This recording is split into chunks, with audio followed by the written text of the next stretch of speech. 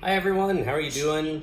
Yes, I'm wearing my glasses, but even though that I had thought I was going to do a video on how to draw something cool, um, I think I'm going to leave that for another time, and I'm going to just talk about something for a change. I've done a bunch of reviews lately, and uh, I think I want to just chat. And plus, if you can see who's staring at you right now, I'm wearing my Yoda shirt. And whenever Yoda is telling me to do or do not, there is no try. It usually puts me in the mood for a little talk about Zen and art.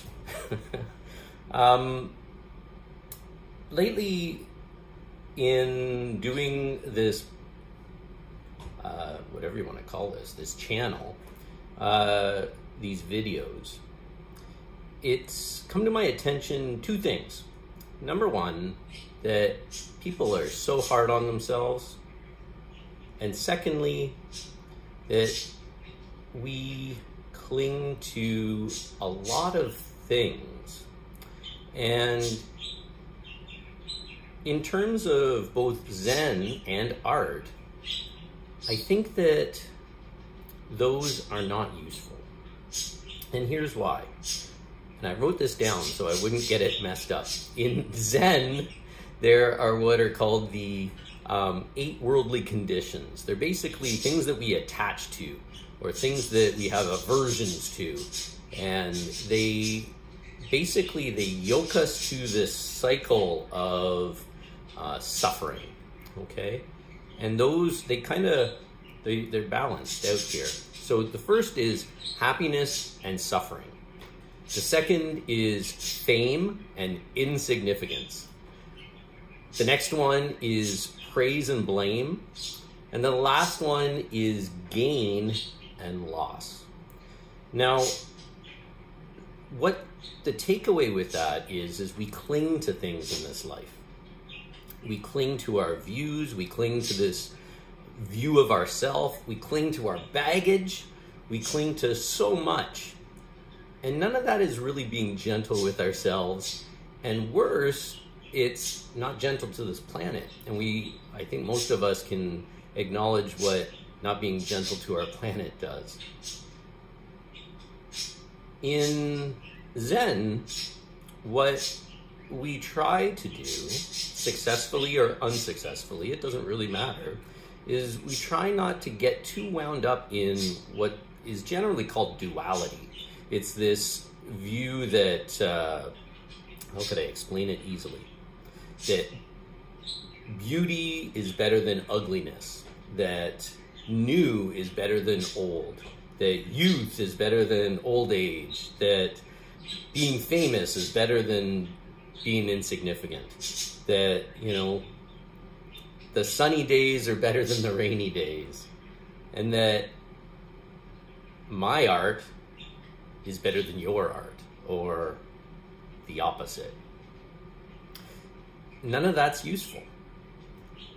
It's just as useful as someone in grade school told you that your stick figure that you drew was ridiculous or that your nose is too big or that um, your curly hair isn't nice and you should have straight hair. I don't know, right? Um, none of that's useful. What we need to do in our lives is learn to let go of all of that. And yes, I know it is easier said than done, but we have to try. What I always say is we need to learn to let go and we need to be kind. We need to be kind to ourselves we need to be kind to our planet. We need to be kind to all the people around us. We even need to be kind to those people that do us wrong. Now, that doesn't mean you set yourself up for more, you know, nasty behavior from people. It just means that you learn to cultivate compassion for, for things and you learn to see everything that happens as a good lesson in this life and sometimes the people that people and the things that irk us the most are those things that we need the most because they teach us something. So maybe someone said that your art wasn't so good at some point, and instead of believing that, you take that as a catalyst to really dive in and love your art and love what you do and love the process and love the feeling of it. And I think that's good. Now, of course, some of you are going to be like, but if you love it, isn't that kind of an intoxication? Isn't that you having dualism? Yeah, of course it is. What I look at it as is I do art. You see what I mean? So it's not a matter of me judging my art. In fact, what I love to do is do my art every day and then I don't look at it. And then maybe I come back to it tomorrow. And more often than not, when I do that and I look at it, even if that day when I did it, I was like, eh, I don't know. Usually, when I look at it the next day or the day after or whenever, I'm usually kind of blown away. Because for me, what I really try to strive to is to enjoy this life and enjoy the little things, enjoy the imperfections. My hair stands up. Believe me, there's been some days where I've been like, man, look at George Clooney. I wish I had hair like George Clooney. It's like, you know, it's perfection. He wakes up and I bet you he looks like that. No, probably not. He probably looks more like his hair sticking up in the air too. He probably has people that sit there mashing his hair that stands up just as much as mine but I don't judge it. And in fact, I'm 52 years old now. The fact that I got a full, basically full head of hair, even though it stands up and says hello, I love it. For years, I shaved my head, and I love that. This beard and hair thing, it's actually pretty relatively new for me. And I love it. Now, that's not judging it. You know, if tomorrow I wake up and I look in the mirror and I don't, I can't grow a beard for some reason, and my hair's all gone. Well, you know what? I'll, I'll love that too.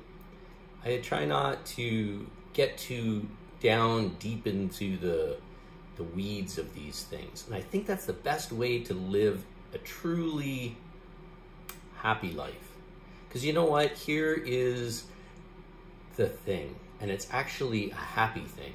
Our lives are short even if you live to be 120 years old, believe me, that 120 years is nothing still.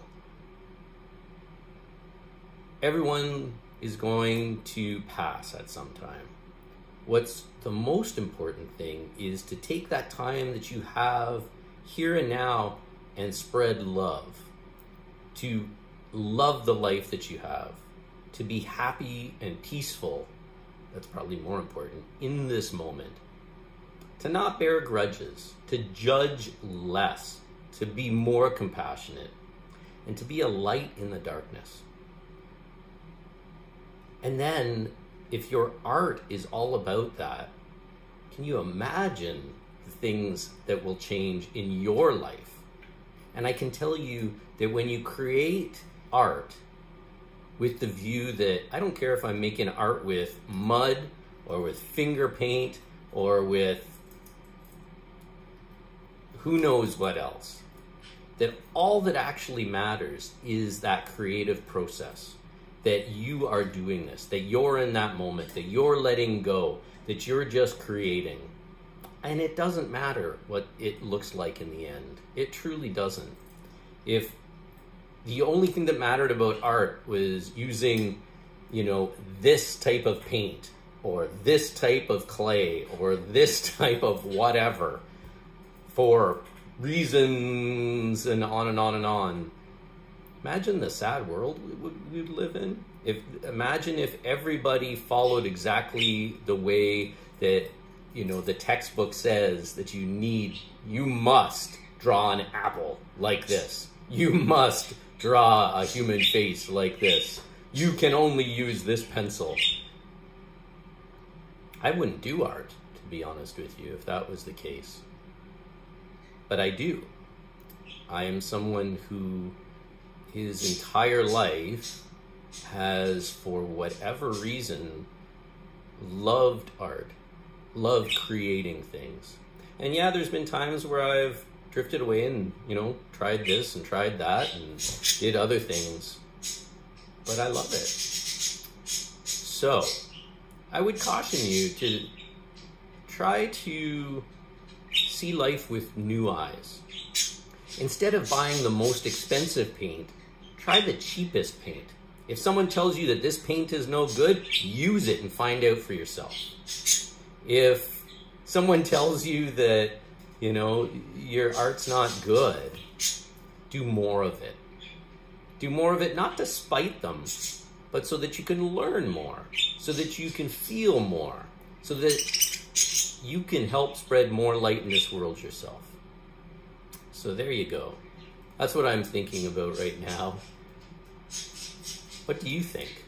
What matters? Does that new iPhone matter? Or is the iPhone you have pretty darn good? You know, that's kind of where I am in this life. I don't think that we necessarily need more. I don't think that we've always been the way that we are now. There was a time when all of our ancestors used to believe that the important thing was a word enough. I have had enough. I have enough food to feed my family. I have enough paint to paint this painting. Oh, that's the mailman. my dogs love the mailman, let me tell you. Not really. Now the bird's barking, the dogs are barking. you gotta love it. I live in a zoo. Not really. it feels like that sometimes. But our ancestors used to actually, their motivation was that, that I have enough. And I think that we can learn something from that. We don't need more. Right? We don't, don't need the shiniest toys, right? And sometimes we need to sit back and, you know, take a look at the lemon tree and enjoy what it looks like right now. Last week, the flowers were brand new and beautiful, and this week, they're starting to fall off. And that, in, in, in and of itself, is a beautiful thing, too. And really, that's what this life is about. So, what I would say is let's all rejoice in this life we have and appreciate all of the setbacks, all of the failure, all of the trying times, all of the experimentation, and really try to make our art about this life and make our art about pushing past duality, good and bad, happy and sad. And let's just find peace in our lives, peace in our art, and let's make this world a better place as a result. So there you go. That's all I have for you today. I hope you're doing well. Say hi in the comments, and if I haven't said it, I'll say it now. Please like this video and subscribe. And if you already have, thank you so much for tuning in. When I looked today at how many subscribers I've got, I was absolutely blown away. I did not start this channel thinking that I would actually have anybody who is tuning into these. I think I was doing it more for me and uh, my own self reflection on my art and my life and my view of things. But next time I have these glasses on, we're going to do some art. But until then, take care of yourself.